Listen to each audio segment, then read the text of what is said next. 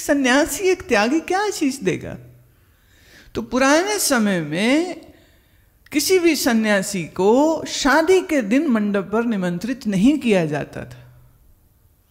अब गुरु हैं उनके तो वो गुरु के पास विवाह के उपरांत अपने बच्चों को ले जाते थे, दर्शन करने जाओ, आशीर्वाद लेने जाओ, लेकिन विवाह के मंडप पर महाराष्ट्र में, दक्षिण भारत में आज भी सन्यासी को कभी भी निमंत्रित नहीं करेंगे।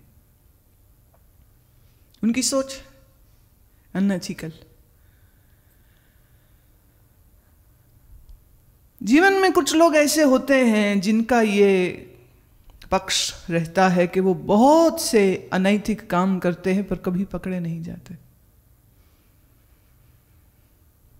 इलीगल काम करते हैं, पकड़े नहीं जाते। वो भी अष्टम से नौवा घर धर्म का है भाग्य का है पुण्य का है और नौवा घर ऐसे पिता का भी घर माना जाता है धर्म का घर। व्यक्ति का नौवा घर अगर मज़बूत है तो उसकी धार्मिक प्रवृत्ति होएगी ही होएगी। और अगर साथ में उसका पंचम घर भी अच्छा है तो न केवल उसकी आध्यात्मिक प्रवृत्ति होएगी, उसकी मंत्र सिद्धि की तरफ़ भी रुचि होएगी। और साथ ही अगर अगर उसका अष्टम घर स्ट्रांग है तो वो बड़ा तपस्या करने वाला साधक हो जाता है।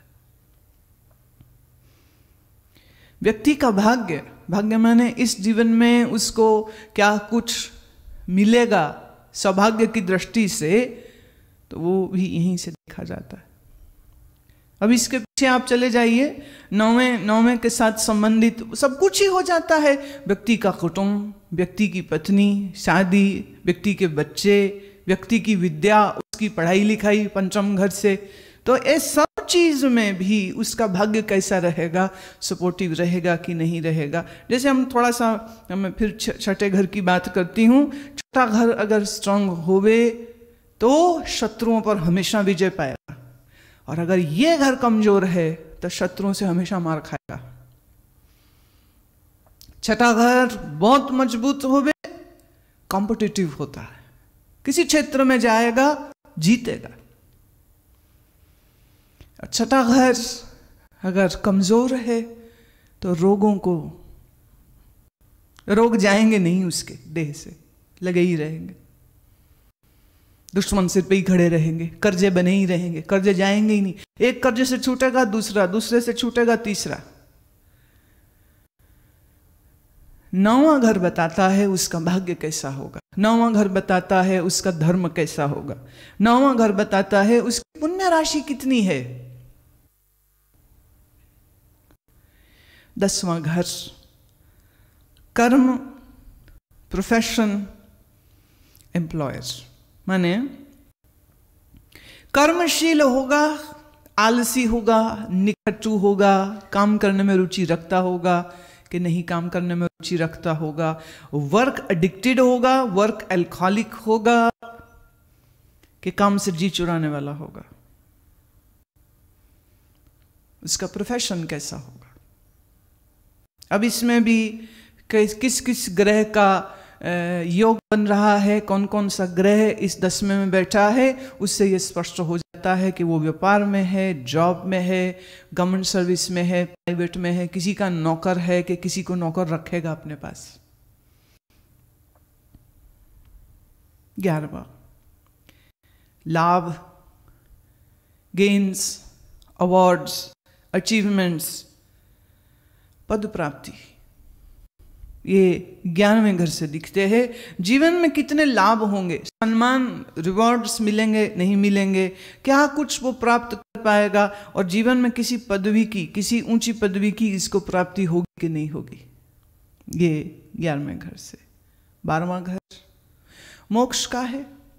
बारहवा घर कन्फाइनमेंट का भी। कन्फाइनमेंट सेल्फ भी हो सकती है और इम्पोज भी हो सकती है। जैसे किसी को जेल हो जाए, है तो भी कन्फाइनमेंट और कोई गुफा में बैठ जाए, तपस्या करने के लिए है, ये भी कन्फाइनमेंट तो दोनों क्या एक सी हैं? कन्फाइनमेंट दोनों है। एक इम्पोज है, एक चोजन है। एक ने चुना है, एक के सिर के ऊपर आ गया।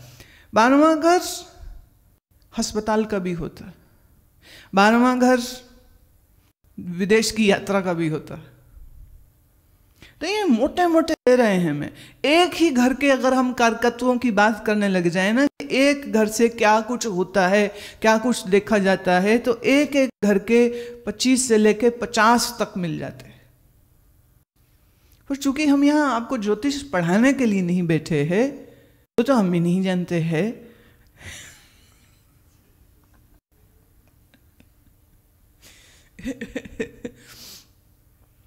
पर आपको एक ब्रॉडर आउटलुक दे रहे हैं, जिससे आपको यह समझ लगे कि nothing is happening as an accident in your life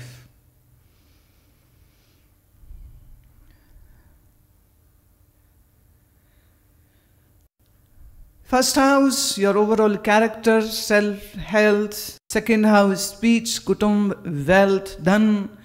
Third house, courage, hobbies, siblings. Fourth house, sukh, ghar, nurturing, पंचम मेंटल इंक्लिनेशन इंटेलिजेंस मंत्र सिद्धि छठा रोग रिपु ऋण स्ट्रगल संघर्ष सप्तम घर शादी पार्टनरशिप और समाज से प्रसिद्धि और सम्मान होगा या नहीं? अष्टम रिसर्च रहस्य, तपस्या अनएथिकल एक्टिविटीज़ नौवा, धर्म, भाग्य और पुण्य, दसवां, कर्म profession employers eleventh gains awards achievements पद प्राप्ति बारहवा, मोक्ष कन्फाइनमेंट हस्पताल फॉरन ट्रैवल सब आ गया।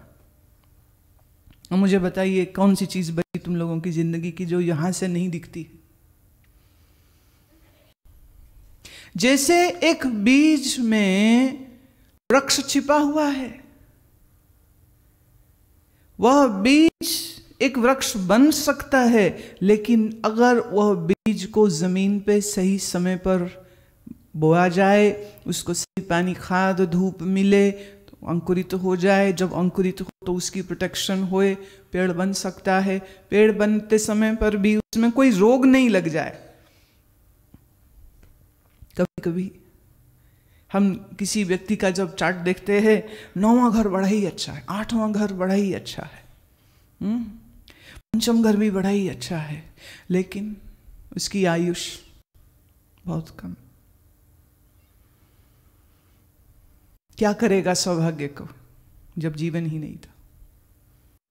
कईयों को, जीवन तो बड़ा लंबा है, पर ना पंचम अच्छा है ना अच्छा है, ना अष्टम अच्छा है, ना दूसरा अच्छा है, न ना कुटुंब का सुख है, ना विद्या का सुख है, ना तपस्या कुछ होगी, ना कोई पद प्राप्ति होगी, ना कोई पब्लिक क्लेम होगा, ना कोई गेम्स ना कोई अचीवमेंट्स क्या है? उसका पूरा जन्म सिर्फ़ एड़ियाँ रगड़ने के लिए संघर्ष ही संघर्ष, कर्जे ही कर्जे दुख ही दुख, रोग ही रोग, शत्रु ही शत्रु। नुकसान ही नुकसान। अब दुख से बंदा डरता है तकलीफ़ से बंदा डरता है। और यही कारण है कि भारत में जो मंदिरों में लाइनें लगी रहती हैं और गुरुद्वारों में जो लंबी लंबी लाइनें लगी रहती हैं और दरगाहों पर लंबी लंबी लाइनें लगी रहती है ये ईश्वर से प्रेम करने वाले लोगों की नहीं है।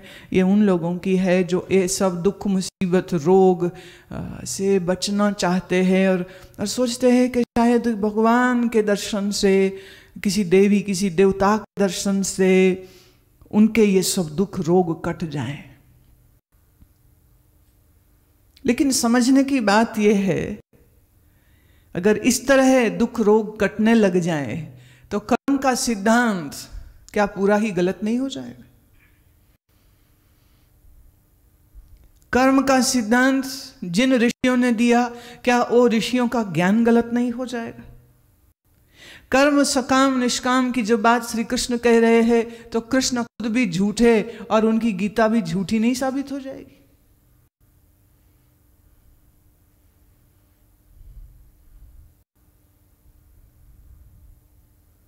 बीज में वृक्ष की संभावना है। हम कह सकते हैं कि एक वृक्ष बीज में छिपा हुआ है, लेकिन जब प्रकट होगा तो प्रकट होगा, उसके प्रकट होने में शायद दस साल, बीस साल लग जाए। इसी तरह जन्म के समय पर आपकी ये जो बारह घर हैं, ये बीज की न्याय तुम अपने साथ लाते हो। लेकिन अब समय के साथ साथ ये पन्ने तुम्हारे लिए धीरे धीरे खुलते हैं जीवन के।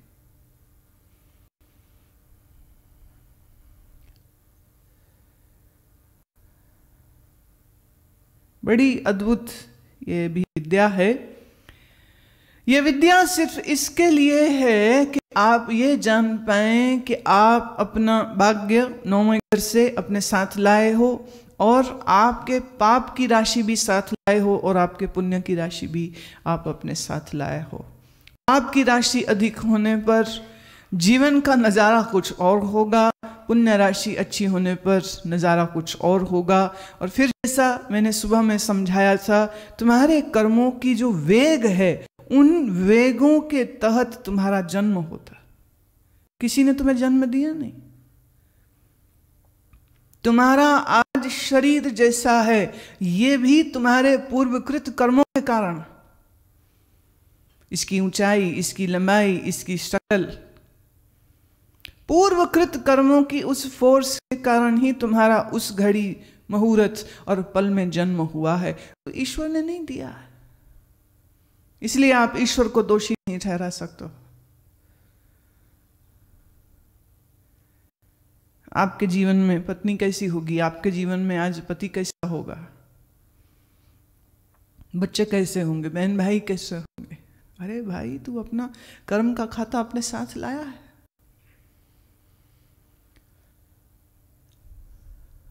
एक समय पर आ, हमारे प्राचीन काल के इतिहास को अगर हम देखें तो कुछ एक महात्मा लोग ऐसे थे कि महात्मा को किसी चार्ट बनाने की ज़रूरत नहीं है कि पत्री पहले बनाए और उसकी वो खोज करे और उसको वो समझे और उसके बाद वो कुछ बोले। वो मनुष्य के आते ही उसका अगला पिछला सब देख रहे हैं और उसकी जो संभावनाएँ हैं वो भी दिख रही हैं। तो जिसकी वो सब धर्म की, अध्यात्म की संभावना ही नहीं है। वो लाख कह ले कि गुरु जी अपने पास रख लो। नहीं रखते थे। बंदे की करेक्टर इवेल्युएशन पहले होती थी। और उसके बाद फिर उसको कहा जाता था, बेटा, अभी तेरा समय नहीं आया। ज्ञान की एक सूत्र नहीं देते थे। क्योंकि जिसकी आध्यात्मिक रुचि नहीं है, ले वो किसी के साथ उठ करके आ गया है तो उसकी तो बड़ी छदम सी रुचि बनी है टेम्पररी सी बनी है it is going to last long तो ऋषि लोग उसको इनकार ही कर देते। अभी तीर्थ करो। माता पिता की सेवा कर लो। बड़े बुज़ुर्गों की सेवा कर लो, घर में गणपति को रख लो, या शिव जी के मंदिर चले जाना। बस ऐसी कुछ बात बोल दी तो बोल दी। इससे ज़्यादा कुछ भी नहीं। देखिए, आज समय बहुत अजीब हो गया है, मैं ये कहूँगी। अजीब यह हो गया है कि किसी का भी मन करे तो किसी समय पर भी बैठ करके वो अब सीढ़ी में ज्ञान है, भगवत गीता है, ये है, वो है तो कोई भी लगाए और सुन ले। पुराने समय में ऐसा नहीं होता। जो सुनेगा, गुरु के मुख से ही सुनेगा, जब सुनेगा और जब गुरु सुनाएगा, तब ही सुनाएगा। और गुरु भी तब तक नहीं सुनाते थे जब तक उसकी योग्यता, उसकी काबिलियत, उसकी वो पॉसिबिलिटी उसका वो मौसम नहीं बन जाता था।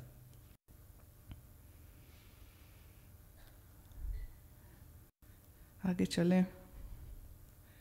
नाइन्थ हाउस आपके पूर्व जन्म के विषय में बहुत कुछ बतलाता है। योर प्रीवियस लाइफ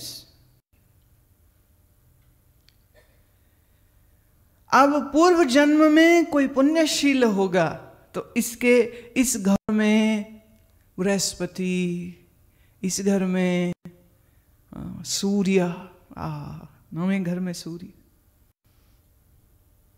बृहस्पति, बुद्धि। तो ग्रहों की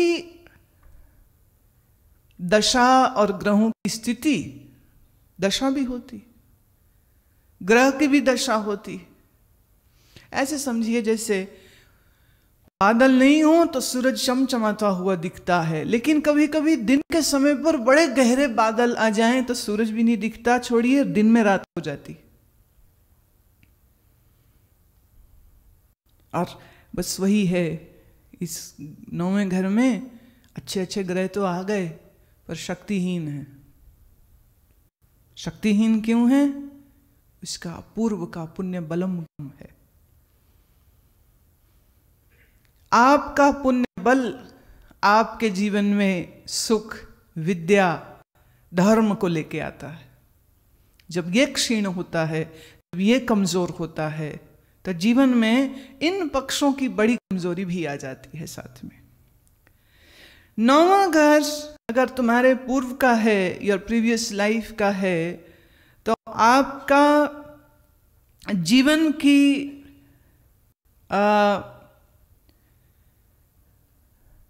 past life Vani gives shape to this life karma profession so be aware of what you speak as it is shaping your future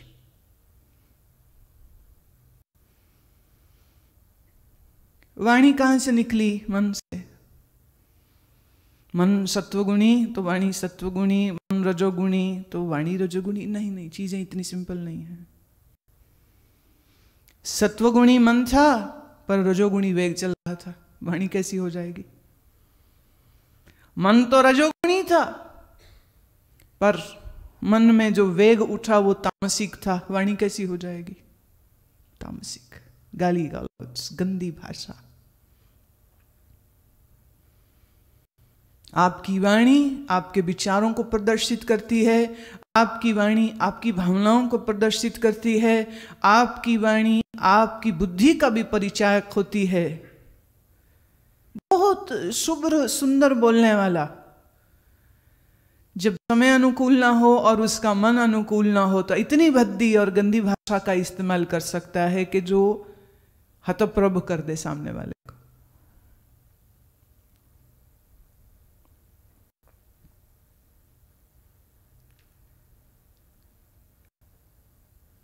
नौवें घर में अगर हम पूर्व का पुण्य बल देखते हैं तो इस वर्तमान जीवन में उसके कर्म कैसे होते हैं, सो दसवें में देखते हैं। और उसके दसवें से ही उसके पास्ट लाइफ के बहुत सारे क्रियाकर्मों का भी ज्ञान होता